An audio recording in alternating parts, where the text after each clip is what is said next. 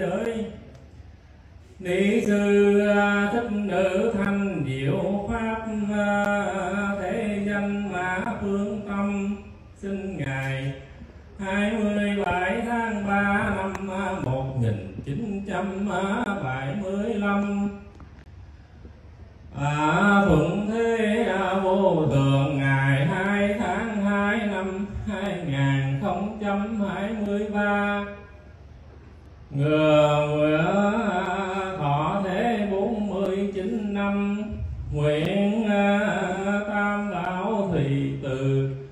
Quan giáng đạo tràng chứng minh tiếp độ cho giác linh ni sư. Thích nữ thanh diệu pháp. Được à, quả vô sanh nhân tròn chánh giác.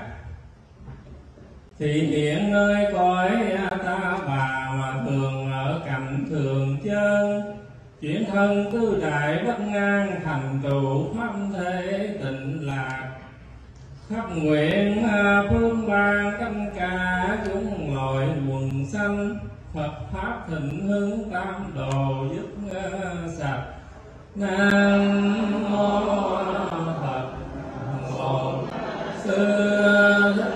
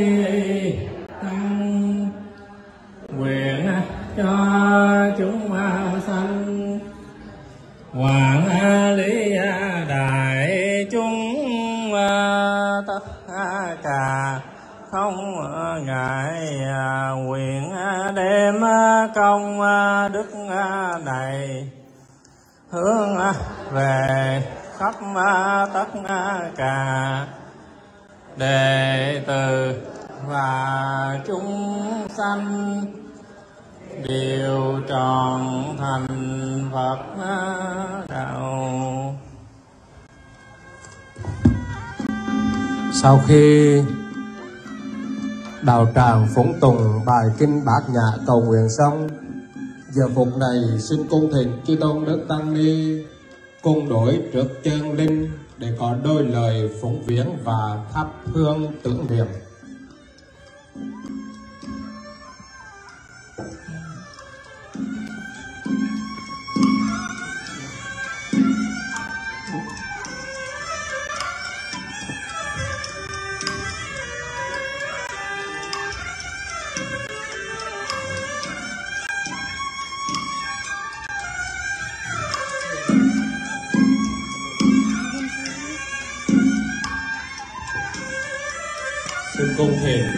Đức tăng ni cung đổi trước chân linh để có đôi lời phụng viếng, chia buồn cùng với môn đồ pháp quyến và ban tổ chức tang lễ.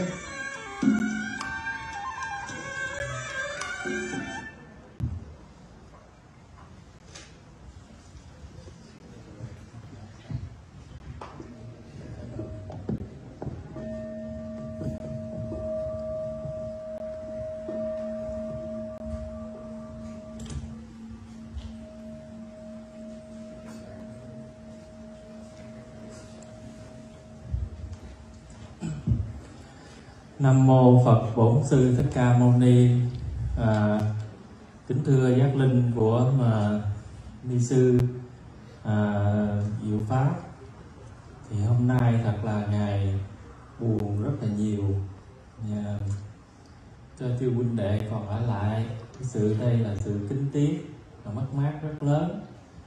À, sư cô à, già không nói gì còn rất là trẻ lại à, làm à, tu tập tốt sự được và Phật pháp rất là cần. Mà do cái duyên sự phát nguyện gì đó mà khi sư ra đi vội vã. Thì à, mấy lần trước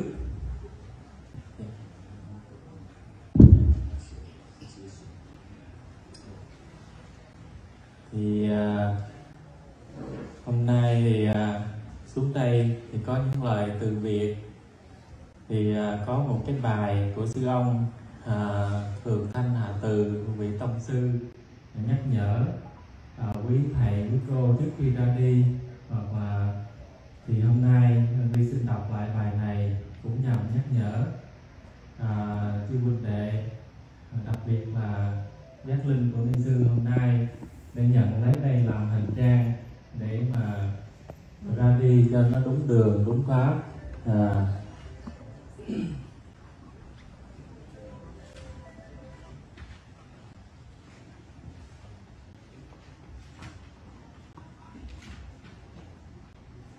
Hôm nay là ngày từ biệt cuối cùng của ni sư thích, thích nữ thanh diệu pháp.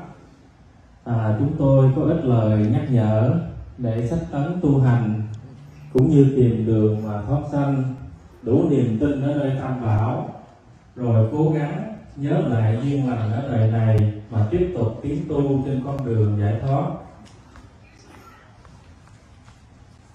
Mới ngày nào à, chúng ta là người khỏe mạnh vui vẻ. À, ngày nay hôm nay thân này đã bại hoại không còn nữa. À, để cho ni sư thấy rõ rằng thân này là cái vô thường à, cái bất cái mà chúng ta không có thể à, nắm chắc hoài được nó là cái bại hoại không thể giữ gìn. Thân chứa đầy khổ đau và chướng nạn mà lâu nay chúng ta mê rồi bị nó chi phối rồi cả cuộc đời chỉ biết lo cho thân tạm vợ không biết ngoài nó ra còn có cái gì nữa, cái gì nữa. Thì hôm nay như sư đã biết rồi đó, không phải chỉ có thân này là cái cuối cùng mà chúng ta còn có cái gì nữa hiện tại nơi đây và ngay bây giờ khi thân này hoại đi, không phải là con người, ngang đây rồi hết. Nên bỏ thân này rồi ni sư hãy thấy không phải là mình hết. Không phải mình hết là thân chỉ là tai họa, là tai họa mà đeo đuổi nó làm gì là không vui. Vì vậy, khi mang thân, chúng ta phải lợi dụng nó làm khí cụ, làm phương tiện tiến tu để tìm đường giải thoát, chứ không phải thân này phải chịu trần luân vì nó. Người thế gian không biết, cứ tưởng thân này là quý, suốt đời và phục vụ lo lắng vun bồi tô điểm, rốt cuộc rồi ngày cuối cùng nó cũng trở thành cái bài hoài. Riêng ni sư là người tu hành, là người xuất gia, biết rõ thân này không thể giữ được. Nên ngày nào còn sống, còn khỏe mạnh, ngày đó ni sư đã cố gắng hết mình. Tuổi còn trẻ sớm giác ngộ, đi đến tu viện kim sơn, đưa theo sư long hòa thượng, cùng đại chúng xuất gia. Kế đó đi làm công việc phật sự, tất cả cái gì ni sư làm được ni sư làm tất cả. Từ đến cho tam bảo, cho mọi loài, đến những con vật nhỏ ni sư cũng mở rộng lòng ra để bao dung hết tất cả. Đây quả thật là xứng đáng không uổng những ngày ni sư có mặt ở trần thế đây tuy một nửa đời người mà không ai bị được.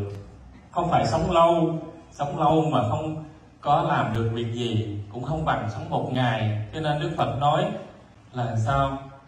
À, chúng ta không hiểu đạo giàu sống 100 tuổi cũng không có bằng sống một ngày mà được hiểu đạo được xả thân mình làm những việc mà ni sư đã làm. Đây là một việc rất là vinh quang à, cho một người con phật. Nếu chỉ một về những ai không biết tu chúng ta lo lắng tô điểm cho thân được an ổn cho khỏe mạnh cho sung sướng. Nhưng dù có lo đến đâu thì lúc bại hoại là vẫn bại hoại. Quý thầy mong rằng hôm nay à, là ngày quan trọng và là ngày sư cô tu nhiều nhất. Hãy quán chiếu lại ngũ quận của mình hiện tại nơi đây. Hàng ngày chúng ta tụng rất nhiều nhưng bây giờ sư xưa hãy nhìn lại những cái uẩn trên người mình nó có làm việc hay không? Hơi thở là đã mất rồi. À, cái ấm nó cũng tan đi. À, và nước nó cũng đông lại. Ngày mai này ngọn lửa điêu tàn nó thiêu cái xác sư cô trở thành một nắm cho tàn. À, tất cả những gì của quẩn mà sư cô đọc hàng ngày bây giờ đã thấy rất rõ. À, nó không phải là mình. Cho nên thiền sư tự minh có dạy, xanh như đắp chăn đông, tử như cởi áo hạ. Mùa đông trời lạnh đắp chiếu, chăn cho ấm mùa hè. Chúng ta được cởi áo ra cho mát. Giờ đây hôm nay sư cô cởi chiếc áo mùa hè, nên vui vẻ nhẹ nhàng. Nếu còn duyên phải xanh lại, thì ni sư hãy nhớ rằng mặc chiếc áo mùa đông vào cho ấm áp. Để rồi nhờ duyên đó mà sống tu hành làm phật sự, công đức mỗi ngày, mỗi tăng trưởng cho đến ngày thành phật viên mãn. Nên cái sanh, cái tử không phải là cái đáng buồn nữa. Chỉ cái đáng buồn là chúng ta mê muội trong việc tử và sanh thôi. Nếu chúng ta chết tỉnh, chúng ta sanh an nhiên, nương phương tiện hình thức này để làm phật sự thì việc sanh tử không phải là việc khổ nhục. Hôm nay, trong giờ phút cuối cùng từ giả ni sư tất cả quý thầy cô ở khắp mọi nơi à, hiện tại ở nơi đây và ở trong nước như ngoài nước đang trên mạng theo dõi quý phật tử các đạo tràng cùng đồng lời đồng tâm à, nhất tâm cầu nguyện. Mong sư cô ráng tỉnh thức nhớ mãi con đường tu hành tiến đến sự giải thoát mà ni sư đã chọn. Từ đây về sau hãy nhớ tiếp tục không quên à, đó là vấn đề thiết yếu nhất trong ngày hôm nay. À, mong tam bảo gia gia hộ cho ni sư à, đi đường bình an.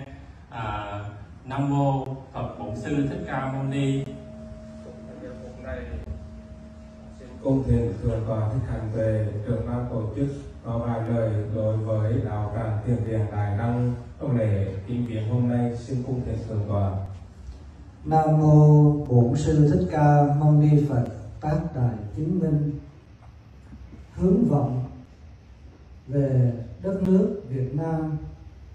Ở nơi đó có một bậc lão tăng, đại lão tăng, thiền sư thích thanh từ.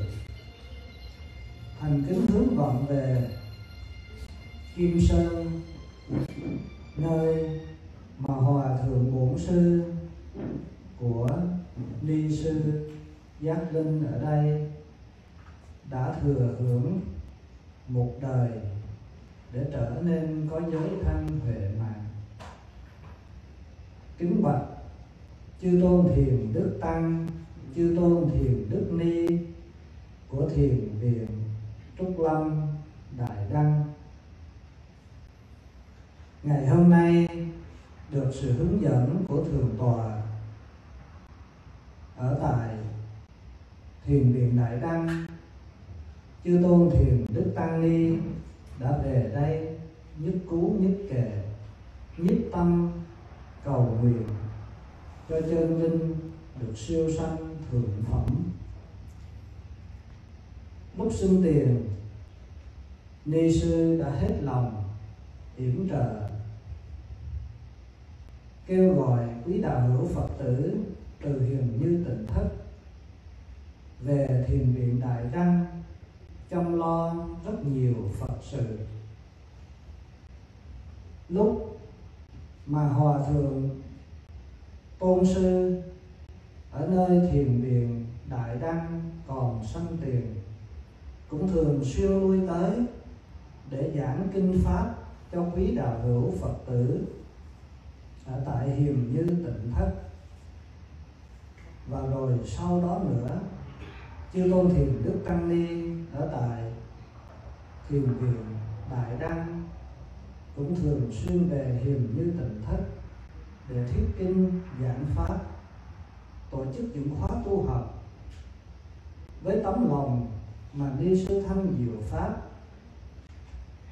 đã vì Phật pháp để đảnh lễ cung thỉnh chư tôn thiền đức tăng ni và hết một lòng yểm trợ tất cả những công tác Phật sự, từ lớn chí nhỏ, ở nơi thiền viện đại đăng. Phải nói rằng đây là mối thâm giao, đây là tình pháp lữ, mà hiếm khi nào chúng ta có được như vậy. Ngày hôm nay, với những lời cầu nguyện chân thành, chí thiết, chúng con chấp cao đôi tay thay mặt cho tất cả môn đồ pháp quyến và thế quyến của hiền như tịnh thất. Đảnh lễ thập phương chư phật, thùy từ chứng minh và gia hộ cho chư tôn thiền đức tăng ni.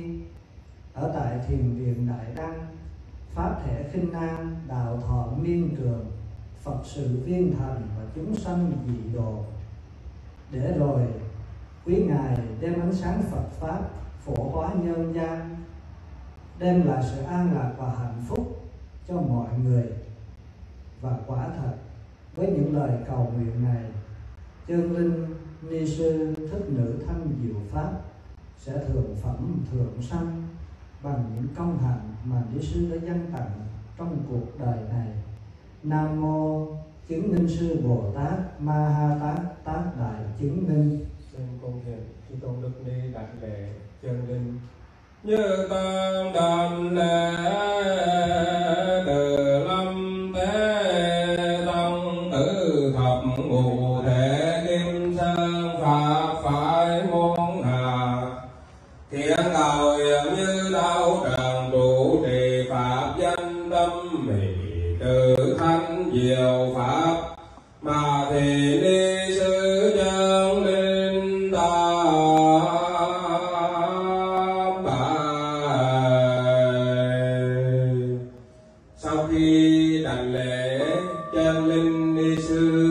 diệu pháp.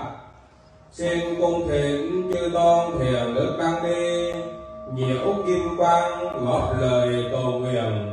Cho ni sư cao đăng thượng phẩm hội nhập ta bà, tùy duyên hóa độ. Nào ngờ người bỏ trần gian, về nơi an lạc niết bàn hôm nay của những ngày dương thể người trần gian giữ lại lưu đời. Người về là cảnh vui chơi, bao năm trụ thể, xa rời từ đây. Nén hương quyền hỏi mây thương tiếc, nhớ ngày nào mở tiệc hồi sinh giờ đây tưởng niệm chân linh, mong ngày hồi nhập, tái sinh tiệc mời. Nhân tấm chân tình của chư tôn thiền đức tăng ni, nơi thiền viện đài đăng đã quang lâm và tang lễ, góp lời cầu nguyện kinh ni sư thanh diệu pháp trụ trì hiền như tình thất chính tấm lòng từ bi vô ngã vì tha của quý ngài. Làm cho môn đồ pháp quyển thể quyển của chúng con trong sự mất mát lớn lao vô tận này vơi đi những nỗi đau thương. Vì chúng con thiệt nghĩ giữa cuộc đời này có nhiều cuộc chia tay, có những giây phút chia tay ngắn rồi lại có những giây phút chia tay dài. Nhưng những giây phút mà chúng con chia tay cùng ni sư thanh diệu pháp, đây là giây phút chia tay nghìn trùng xa cách. Kẻ ở người đi, đón dương sẽ đưa chân linh ni sư về bên kia thế giới. Trong những ngày kali lòng chúng con buồn ám đàm. Sau khi quý ngài nhiều kim quang xong, xin cung thỉnh quý ngài hoan hỷ, quang lâm về phòng khách để dùng nước giải lao, và thành tấm kiền thỉnh quý ngài sáng ngày mai vào lúc 9 giờ, quang lâm về tại nơi nhà tang lễ này để tiệc đưa nhục thân chân linh đi sư trụ trì tình thất hiền như, đến nơi tà tỳ nghìn thu vĩnh biệt. Xin cung thỉnh quý ngài quán lâm góp lời cầu nguyện, cho chân linh ni sư thường phẩm thường sanh cao thắng phật quốc. Nam mô hoa hỷ tạng, bồ tát ma ha tát tát đài